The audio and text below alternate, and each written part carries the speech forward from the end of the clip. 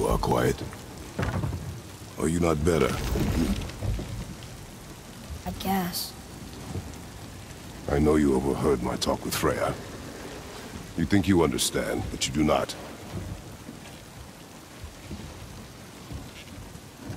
Why do you say nothing? You said I was cursed. You think I'm weak because I'm not like you. I know I was never what you wanted. After all this, I thought maybe things were different. You do not know everything, boy. No. But at least I know the truth now. The truth. The truth. I am a god, boy. From another land far from here. When I came to these shores, I chose to live as a man. But the truth is, I was born a god. And so were you.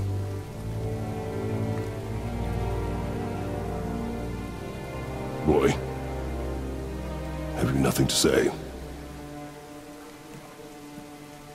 Um... Can I... turn into an animal? Can you turn into an animal? No.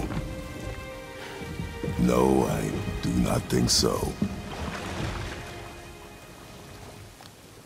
I'm a god. Mother knew? She was a god too? No. She was mortal, but she knew my true nature. I'm a god. Why did you wait so long to tell me?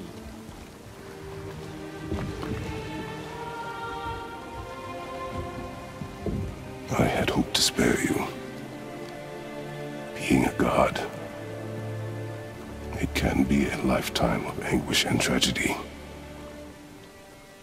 That is the curse. What sorts of things can I do? Can I fly? Or turn invisible? I don't feel like god. I do not know the reach of your godhood. But over time, you will learn.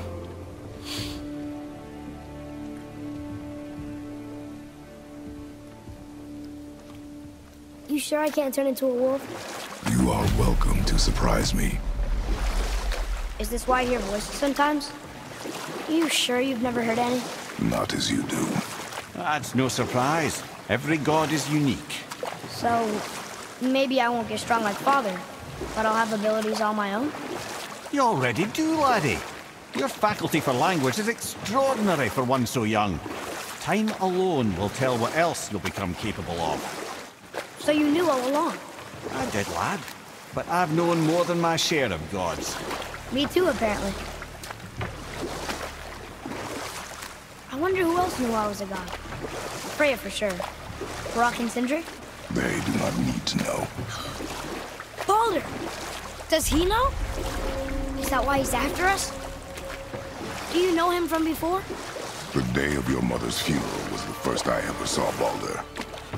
That is the truth. Hey, we don't have to go right back to Tyr's vault, do we? I mean, we're gods. We can do whatever we want, right?